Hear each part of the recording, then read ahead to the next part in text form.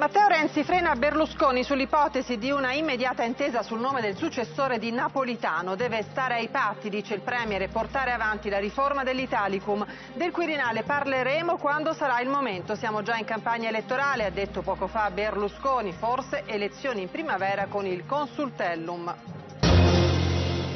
Aspettando l'assemblea dei parlamentari in programma mercoledì è caos nel Movimento 5 Stelle tra ipotesi di nuove epurazioni e tentativi di ricompattamento. Tra i possibili espulsi c'è anche Federico Pizzarotti che ha convocato un incontro aperto a tutti per il 7 dicembre nella sua Parma.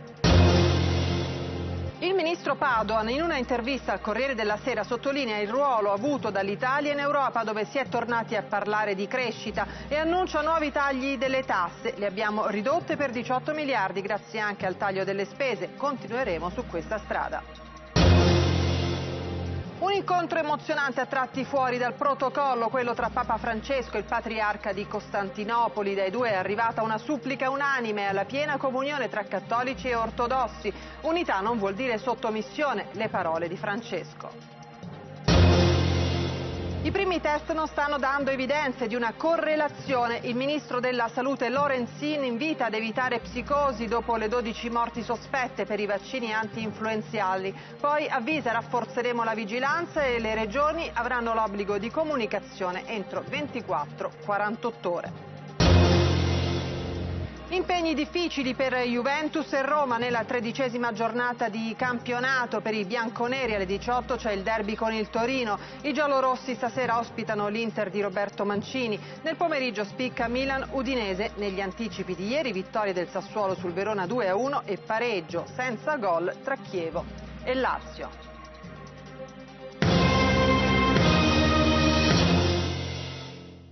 Buongiorno, benvenuti al telegiornale della Sette, buona domenica. Oggi in primo piano ci sono i difficili equilibri all'interno della maggioranza e anche tra il governo e le opposizioni con cui il Presidente del Consiglio Matteo Renzi deve comunque eh, fare i conti per ridisegnare l'intera impalcatura dello Stato così come eh, desidera. Sul, patto, sul, piatto infatti ci sono le riforme costituzionali in primis ma anche le, la elezione del Presidente della Repubblica vista eh, la volontà di Giorgio Napolitano di lasciare l'incarico a breve. Ecco allora che Silvio Berlusconi, forte del patto del Nazareno, aumenta il pressing, parla di una campagna elettorale in corso e di una sostanziale mancanza di eh, democrazia. Berlusconi ha aperto le danze sul Quirinale, Renzi non si sottrae. Intervistato da Repubblica, il Presidente del Consiglio ribatte all'ultimatum del Cavaliere. Non tratto ora sul colle, prima si vota l'Italicum. L'agenda non può essere dettata dal leader di Forza Italia che vorrebbe legare le sorti del patto del Nazareno all'accordo sul successore di Napolitano. Berlusconi ha fatto il nome di Giuliano Amato. Non esiste, risponde Renzi. L'Italicum è in aula a dicembre. Berlusconi si è impegnato con noi a dire sì al pacchetto con la riforma costituzionale entro gennaio. Io resto a quel patto e non cambio idea anche se a dire il vero i tempi sono molto stretti e sembra difficile completare a gennaio la corsa per approvare l'Italicum al Senato prima di un ritorno comunque alla Camera e le riforme costituzionali nella seconda di quattro letture a Montecitorio. La riforma elettorale prima dell'elezione del nuovo Presidente non mi pare che ci siano i tempi, dice infatti dal fronte berlusconiano Giovanni Toti, che insiste sul nome di Giuliano Amato, è una riserva della Repubblica, credo che debba restare in pista perché ha le qualità. Sul Quirinale comunque Renzi si rifiuta di fare nomi, non apre una discussione finché Giorgio Napolitano è al suo posto, dice. Comunque è bene che il Presidente della Repubblica si legga con la maggioranza più ampia possibile. Possibile, ripete due volte Renzi, come a dire che l'accordo può essere con Berlusconi come con i 5 Stelle. Tramite i suoi, poi, il Presidente del Consiglio manda a dire a tutti che senza le riforme sarà inevitabile il voto anticipato da chiedere subito al prossimo Capo dello Stato, con il consultellum proporzionale, con le preferenze non gradite per esempio a Forza Italia. Siamo già in campagna elettorale, alza le spalle Berlusconi, anche se non sappiamo, dice poco fa, se le elezioni si terranno in primavera con il consultellum o dopo con l'Italicum. Altro messaggio di Renzi è il no a candidature divisive per il collo, il nuovo discrimine sarebbe quello di non riproporre candidati già bocciati da questo Parlamento. In sostanza è un no Romano Prodi, vittima dei 101 traditori PD nel 2013, sul cui nome si sta già raggruppando un drappello di sostenitori della minoranza Dem a qualche frondista azzurro, per non parlare dei grillini che potrebbero tornare in partita con il professore che era già tra i loro preferiti un anno e mezzo fa. Quirinale a parte, Renzi non risparmia critica al sindacato, Camusso deve alzare la voce, dice, in vista dello sciopero generale. La nostra priorità è invece il merito delle cose. Rilanciare gli investimenti anche pubblici, insiste Renzi, ammettendo che il piano Juncker è sotto le sue aspettative e soprattutto aprendo a un probabile intervento pubblico per salvare l'Ilva di Taranto. La risaniamo, dice poi, la rimettiamo sul mercato. E tra le file dell'opposizione c'è il Movimento 5 Stelle di Beppe Grillo alla ricerca di nuova linfa vitale, un rinnovamento che passa dalla nomina di un direttorio composto da cinque consiglieri ma anche da una nuova ondata di espulsioni. Il nuovo direttorio nominato da Grillo lo giudicherò dalle prime azioni, ma soprattutto dalla posizione che prenderà sulle ultime due espulsioni, che mi auguro vengano revocate. Toni calmi ma decisi quelli di Federico Pizzarotti, il sindaco ribelle di Parma, da tempo su posizioni molto critiche rispetto alla linea ufficiale del movimento imposta da Grillo e Casaleggio e quindi lui stesso a rischio epurazione, un'eventualità che non lo sconvolge più di tanto. Sono certo che sarei l'ultimo a saperlo, sono molto tranquillo, se accadesse però vorrei conoscere le motivazioni, spiega Pizzarotti in un'intervista alla Repubblica, dove ci tiene a mettere in chiaro di non essere a capo di nessuna corrente di dissidenti e che l'incontro di domenica prossima prossima a Parma è stato pianificato da tempo ed è indirizzato soprattutto agli amministratori locali. Per questo ha invitato, oltre a Grillo, anche Massimo Artini, l'ultimo espulso fra i parlamentari insieme a Paola Pinna per irregolarità sulle rendicontazioni. Ma non sarebbero soli, la lista degli epurati potrebbe infatti allungarsi con i nomi di un'altra ventina di parlamentari fra senatori e deputati, colpevoli anche loro di non aver caricato i rimborsi online per mancanza di trasparenza sulla gestione del sito, replicano i possibili epurati. Se venissero cacciati dal movimento il rischio di veder nascere nuovi gruppi parlamentari, magari insieme ai vecchi fuoriusciti, diventerebbe concreto. I mediatori stanno lavorando per far rientrare il pericolo. Il D-Day è fissato per mercoledì prossimo, il 3 dicembre, quando senatori e deputati 5 Stelle si confronteranno in un'assemblea congiunta. La riunione è stata indetta per creare un clima positivo e di serenità e per superare tutte le incomprensioni passate e ripartire in maniera più compatta, assicurato in una nota il capogruppo alla Camera Andrea Cecconi, cercando di gettare acqua sul fuoco delle polemiche che in questi ultimi giorni stanno mettendo a dura prova i nervi dei pentastellati. Complice anche la nomina da parte di Grillo dei cinque fedeli pochissimi che lo affiancheranno nella conduzione del movimento, accolta con favore dalla rete ma indigesta a molti parlamentari.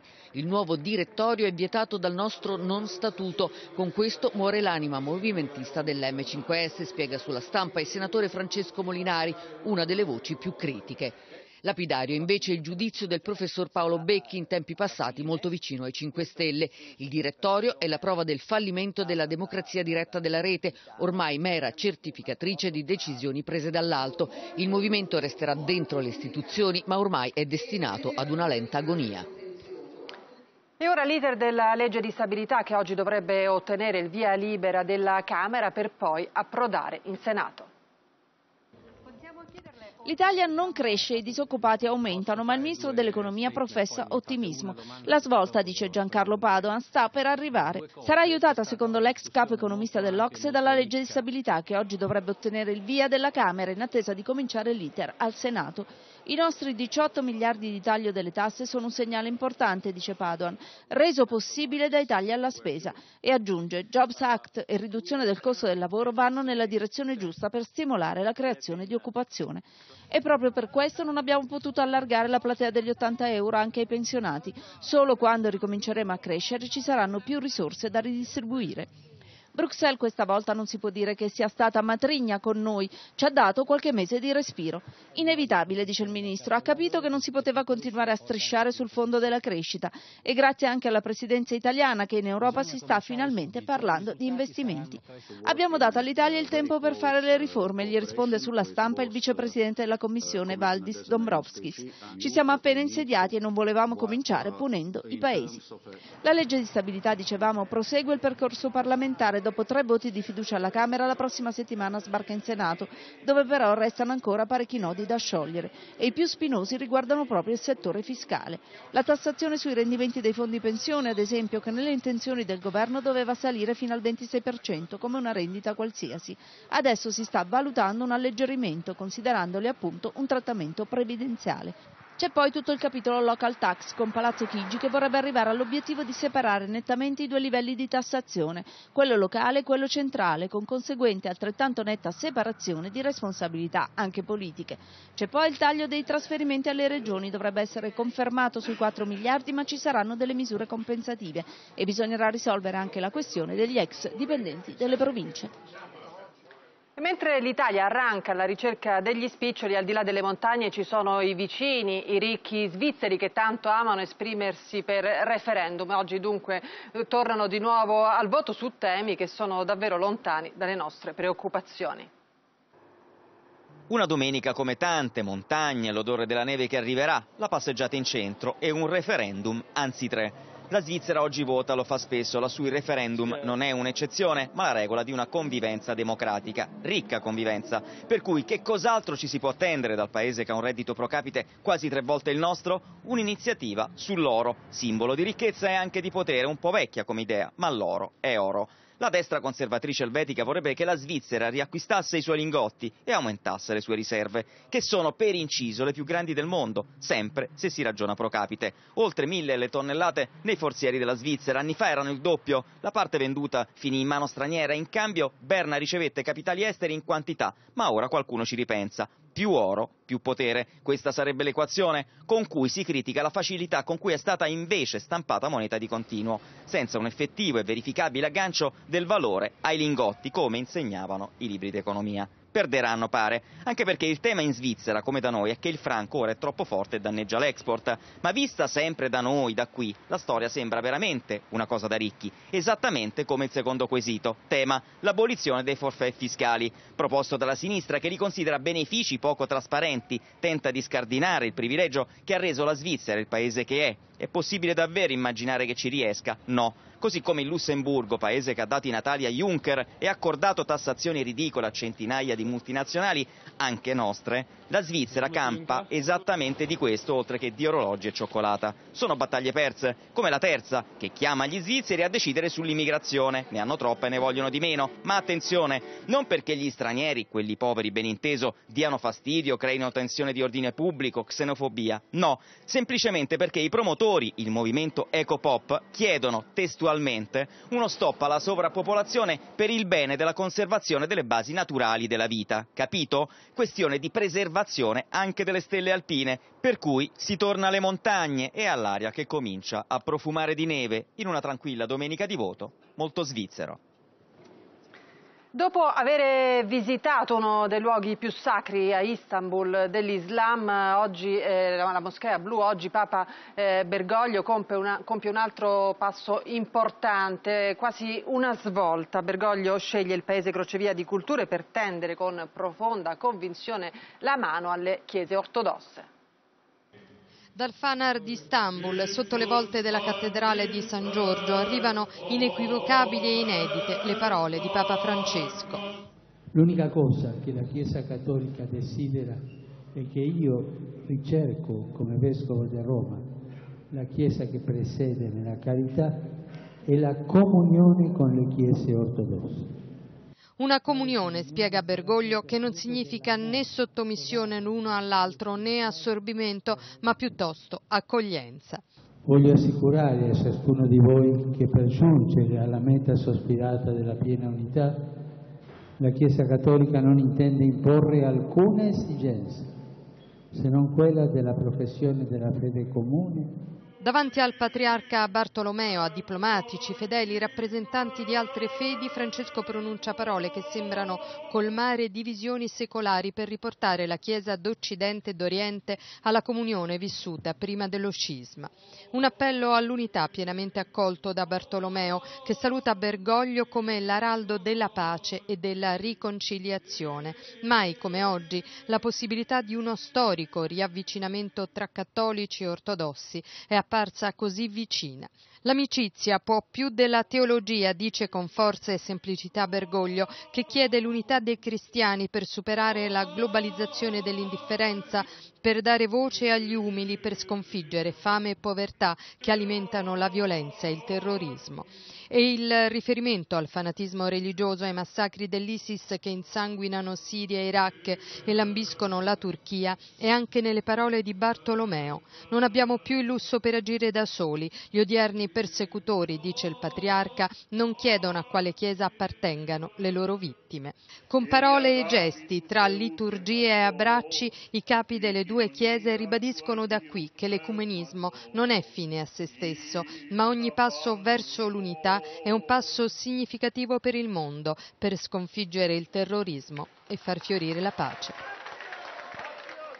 Resta ancora molto alta l'attenzione sul vaccino anti-influenzale dopo che alcune persone sono morte nelle ore immediatamente successive alla somministrazione del siero, anche se il Ministro della Sanità ci tiene a sottolineare che nessun nesso è ancora stato stabilito e che non si deve in nessun modo fare inutili allarmismi e creare delle psicosi.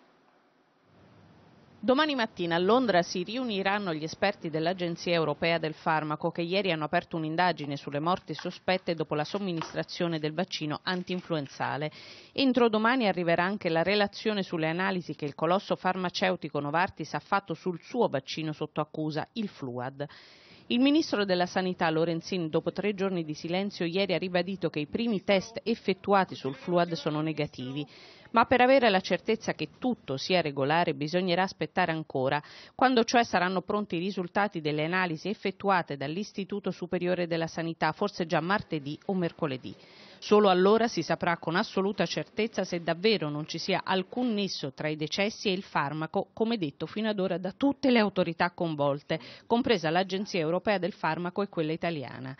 In attesa degli esami completi, l'AIFA ha annunciato che i lotti su cui si hanno dei dubbi potrebbero però essere sei, non solo cioè i due già bloccati, per un totale di 1 milione e 400 mila dosi e che le morti sospette sono salite a 12.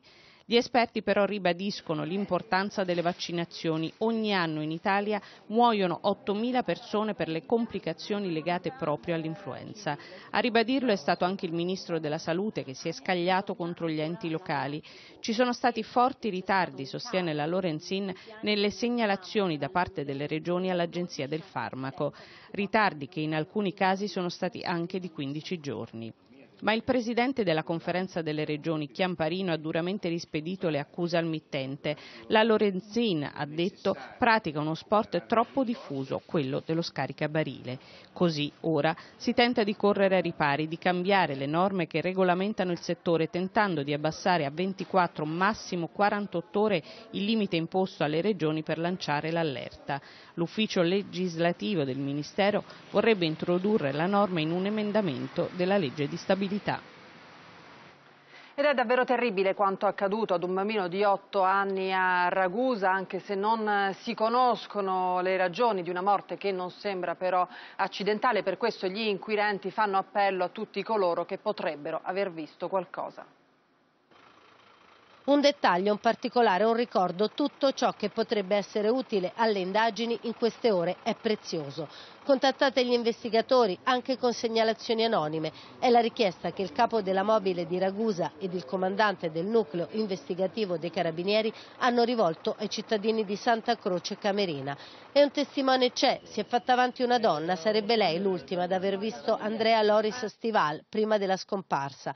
Erano le 9.10, il bambino era poco lontano dalla scuola elementare Falcone Borsellino, dove la madre Veronica l'aveva lasciato qualche minuto prima, a pochi metri dal cancello. La testimone dice che Andrea non aveva con sé lo zainetto che portava ogni mattina per andare a scuola. Zainetto che gli investigatori continuano a cercare da ieri pomeriggio, da quando il corpo del piccolo Andrea è stato ritrovato nel canalone di cemento vicino ad un vecchio mulino in disuso, a 4 chilometri dal paese. Molti, forse troppi, da fare a piedi, da solo, per un bambino di otto anni, dicono gli investigatori. La testimonianza della donna è al vaglio degli inquirenti ragusani, nessuna ipotesi esclusa, continuano a ripetere, in attesa del referto dell'autopsia, l'unico esame medico legale che può accertare le cause della morte. Un fatto cruento era stata la prima ipotesi e oggi gli inquirenti, molto riservati sulle condizioni in cui è stato ritrovato il corpo, ammettono che sul volto del bambino c'è un grosso ematoma. Roma. Intanto, nella zona del ritrovamento continuano i sopralluoghi di polizia e carabinieri. La madre di Andrea è stata sentita più volte dagli investigatori, così il padre al suo ritorno di notte in paese. L'uomo, un giovane autotrasportatore, è stato avvertito della morte del figlio mentre era in viaggio tra Roma e Napoli. Capire le frequentazioni del bambino dentro e fuori la scuola, entrare con i genitori nel mondo di Andrea. Su questo adesso si concentra il lavoro degli inquirenti.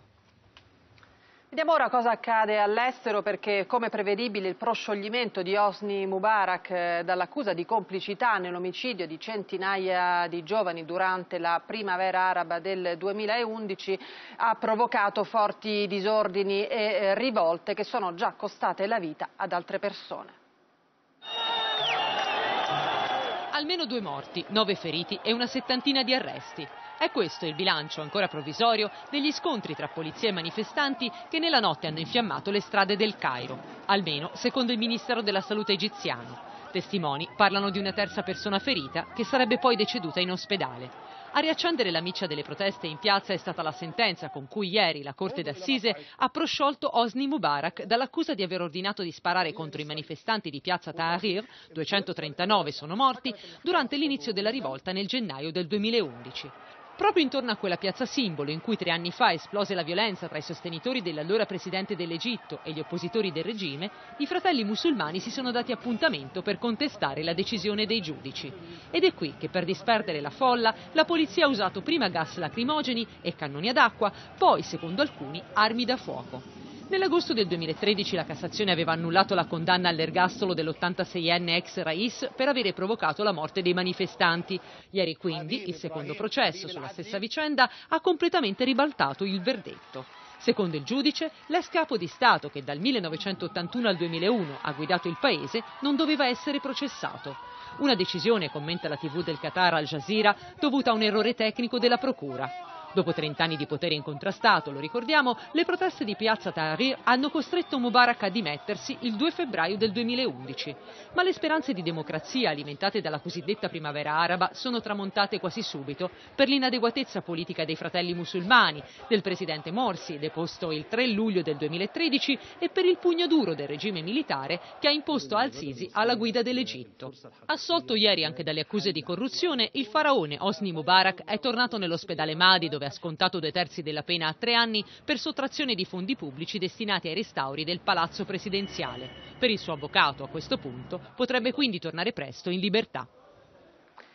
Negli Stati Uniti a Ferguson le dimissioni del poliziotto responsabile della morte di un diciottenne nero disarmato non placano la protesta.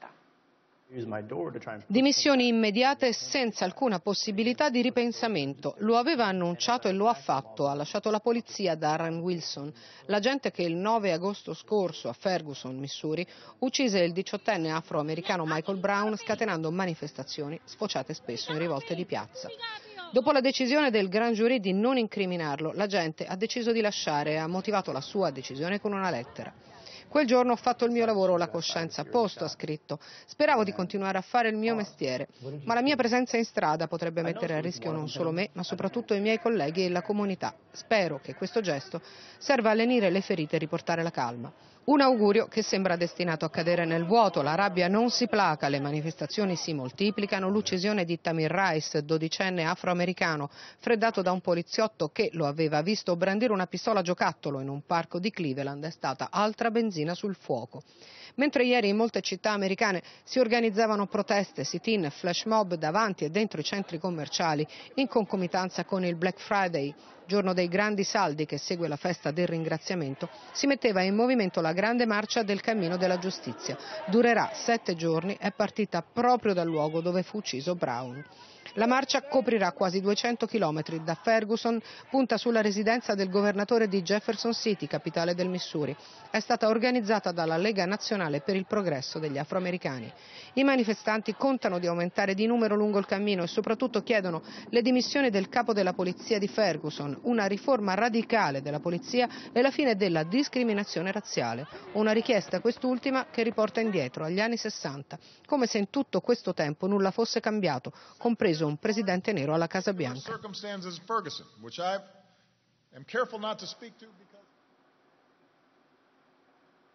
Per il campionato di calcio in primo piano c'è la contesa di vertice tra Juventus e Roma. Con le possibili scorie degli impegni europei nelle gambe, Juventus e Roma riprendono il loro duello a distanza. Alle 18 i bianconeri affronteranno il Torino in un derby che nelle ultime stagioni si è rivelato molto meno ostico del previsto, ma le provocazioni settimanali da parte di Andrea Agnelli prima e John Elkan poi sembrano aver regalato stimoli ai Granata che da questa sfida che non vincono da ben 19 anni avranno tutto da guadagnare. Allegri è tentato a riproporre il modulo Champions con l'asse di centrocampo Pirlo Vidal e con Llorente che dovrebbe far coppia in attacco attacco con l'insostituibile Tevez, ma il tecnico non si fida di questo Torino e dispensa modestia in conferenza stampa. Avranno più fiducia in se stessi e ci daranno, ci daranno battaglia. E quindi non sarà assolutamente una partita eh, semplice per noi. Per la Roma arriva invece quell'Inter cui Roberto Mancini sta cercando di dare un nuovo assetto tattico. Il successo in Europa League deve essere preso come un'iniezione di fiducia. Sulla sponda giallo-rossa invece Rudy Garcia vuole cancellare l'amaro pareggio in quel di Mosca, mettendo anche a tacere le polemiche sul dopo partita a luci rosse di alcuni suoi giocatori, per poi inviare un messaggio pungente alla Juve riguardo il suo vantaggio in classifica perché la Juve ha tre punti di più e sappiamo tutti come l'ha ottenuto questo tre, tre punti di, di, più. Garcia recupera in un sol colpo Maicon e Young ambigua in difesa, potendo così optare per varie soluzioni in tutti i reparti con cui attaccare i punti deboli dell'Inter. Eh, la Roma può essere davanti in classifica, ma noi siamo sempre l'Inter, quindi l'Inter deve avere una mentalità eh, di andarci a giocare sempre la partita, anche rischiando di perderla. Nei due anticipi di ieri importante vittoria per il Sassuolo, capace di ribaltare un incontro che lo vedeva soccombere in casa contro il Verona. Tre punti che collocano addirittura gli emiliani al fianco della coppia Milan-Udinese che oggi si sfiderà nel match pomeridiano a San Siro. Un punto ciascuno invece per Chievo e Lazio, importantissimo per i Veneti nella lotta salvezza, un po' meno per i biancocelesti che cercavano il pronto riscatto dopo due sconfitte consecutive. Ora ci fermiamo per qualche minuto, ma tra poco restate con noi perché vedremo se ci sono degli aggiornamenti.